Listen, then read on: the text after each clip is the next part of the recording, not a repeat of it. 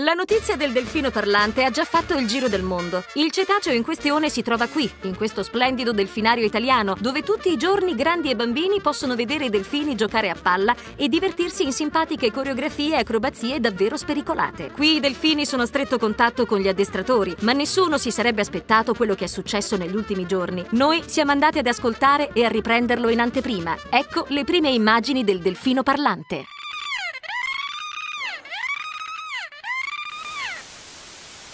Sui delfini non credere a tutto quello che ti dicono. Purtroppo non parlano. E se potessero, ci direbbero che nei delfinari vivono come prigionieri, affamati, sono costretti a esibirsi in cambio di cibo, diventano aggressivi, si ammalano di più, muoiono prima.